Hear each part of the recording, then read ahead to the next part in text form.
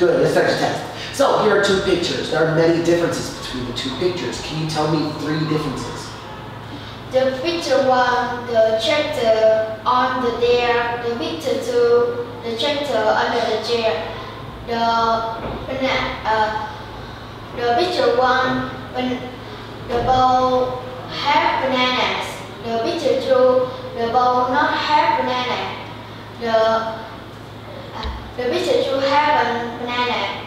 The picture one, the moon in uh, on her t-shirt. The picture two, the star on her t-shirt.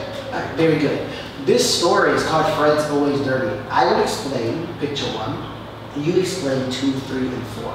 So in picture one, Fred is playing soccer and having lots and lots of fun, but he's very dirty. Can you explain two, three, and four for me?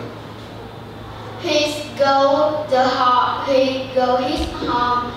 He taking a shower and the and his clothes are dirty.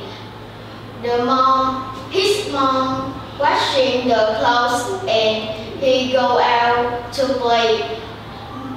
He riding the bike and his clothes are dirty again. Very good. So I will explain row one, you explain two, three, and four. So in row one, the book is different because the lemon, pineapple, and oranges, they're fruits. Can you explain two, three, and four for me? The sofa is different because the fruit uh, sour and safe in the back. The uh, the picture three is different because the picture one, two, and four they are sleeping.